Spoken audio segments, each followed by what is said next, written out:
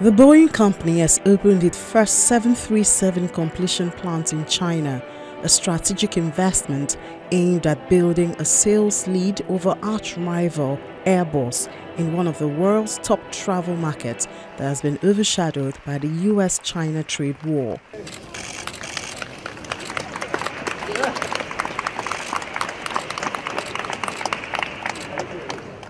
The world's largest plane maker also delivered the first of its top-selling 737S completed at the facility in Zhoushan, about 290 kilometers southeast of Shanghai, to state carrier Air China during a ceremony which had top executives from both companies.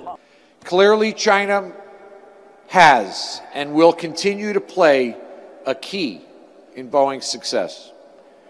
We share a long successful history of cooperation and strong partnership together. And we look forward to this continuing partnership for many years to come. Reform and openness has been on the rise for 40 years. China has been the second largest civil aircraft market in the world. China has a big appetite for aircrafts. The next 20 years is an important period of strategy and opportunity for the aviation industry.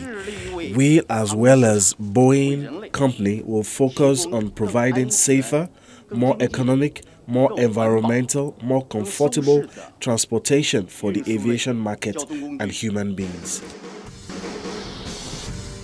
Boeing officials and the country's aviation regulator unveiled the plane to those present. Chicago-based Boeing calls itself the top U.S. exporter and delivered more than one out of every four jetliners it made last year to customers in China, where it forecasts demand for 7,700 new planes over the next 20 years, valued at $1.2 trillion.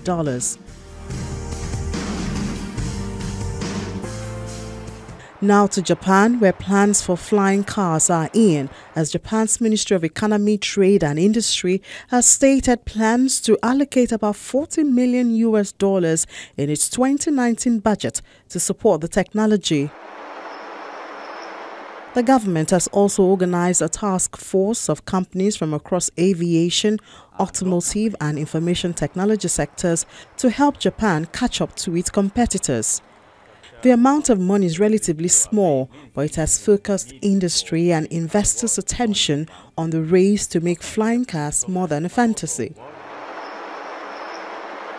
With the well-developed prototypes already being tested in Europe, the US, China and elsewhere, Japan is looking to catch up, emerging from the score of government-led companies a scrappy startup Cartivator.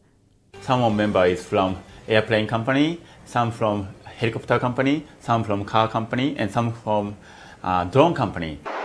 Cartivator has received about 375,000 US dollars in support from Toyota Motors to get their dreams off the ground.